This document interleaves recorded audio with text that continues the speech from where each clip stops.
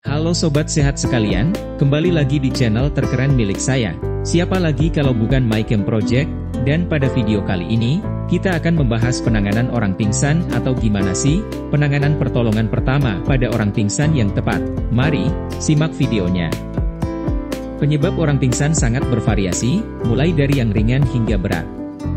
Bila penyebab pingsan adalah hal sederhana, kesadaran penderita umumnya akan membaik secara perlahan saat diposisikan berbaring. Kondisi kehilangan kesadaran ini juga bisa mengindikasikan adanya masalah kesehatan yang lebih buruk, misalnya stroke.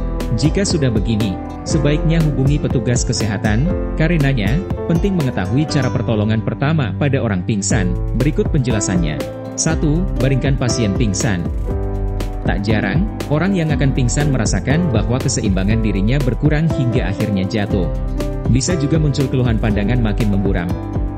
Nah, langkah pertama untuk menangani orang pingsan adalah dengan segera membaringkan mereka, umumnya, kesadaran akan perlahan membaik. Untuk mencegah kejadian pingsan berulang, cegah pasien untuk bangkit terlalu cepat setelah berbaring. Bila tidak menemukan area yang aman untuk berbaring, pasien boleh duduk. 2. Pindahkan ke lokasi yang aman. Penting untuk segera memindahkan orang yang pingsan ke lokasi lebih aman. Misalnya, ketika seseorang pingsan akibat matahari yang sangat terik saat upacara, segera pindahkan mereka ke ruangan yang lebih sejuk dan terhindar dari sinar matahari. Selain menghindarkan pasien dari penyebab pingsan, cara ini memastikan mereka berada pada lokasi yang lebih aman sehingga memperoleh oksigen yang cukup. 3. Posisikan lebih tinggi. Cara menangani orang pingsan berikutnya adalah segera posisikan kaki mereka lebih tinggi ketika berbaring. Topang area kaki menggunakan bantal atau barang apa pun sehingga letak kaki lebih tinggi daripada kepala. Bila memungkinkan, posisikan kaki lebih tinggi kira-kira 30 cm, tujuannya adalah untuk memperbanyak aliran darah menuju otak. Lakukan cara ini pada pasien yang tidak mengalami cedera apa pun, Kondisi yang dimaksud, misalnya pasien tidak habis terjatuh karena pingsan dan pernapasannya baik-baik saja. 4. Longgarkan pakaiannya. Apabila pasien pingsan mengenakan pakaian ketat, minimalkan pertukaran udara yang buruk dengan melonggarkan pakaiannya. Kamu bisa membuka kancing kerah pasien agar dia dapat bernapas dengan lebih mudah dan bebas. Pertukaran oksigen pun dapat berlangsung lebih lancar. Jangan biarkan pasien dikerumuni terlalu banyak orang, supaya tersedia lebih banyak oksigen, biarkan pasien berbaring dengan tenang di udara terbuka. 5. Coba bangunkan pasien. Penanganan orang pingsan selanjutnya, yaitu membangunkan pasien.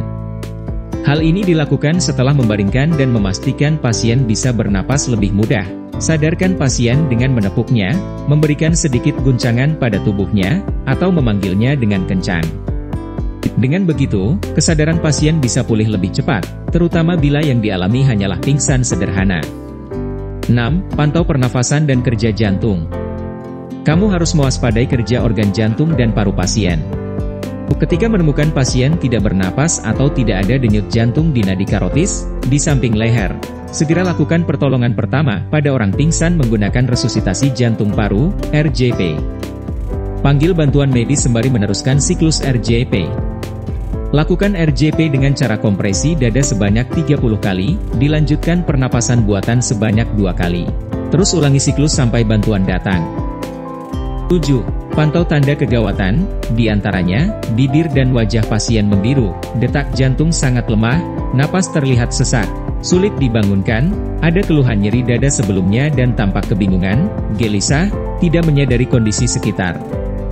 8. Hubungi petugas kesehatan, apabila pasien tidak kembali memperoleh kesadarannya setelah hal-hal di atas dilakukan, segera panggil ambulans atau petugas kesehatan, bila pasien memperoleh kesadarannya kembali, kamu dapat memberikan minuman mengandung gula.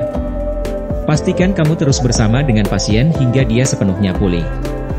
Jadi itulah video singkat yang harus diperhatikan saat melakukan pertolongan pertama pada orang yang pingsan. Jika masih bingung soal bagaimana cara menolong orang pingsan, bisa kalian cek, linknya ada di deskripsi. Semoga bermanfaat. Jangan lupa videonya di-share ke teman-teman kalian dan di-subscribe channelnya, nantikan video-video berikutnya yang bisa menjadi bermanfaat buat semuanya.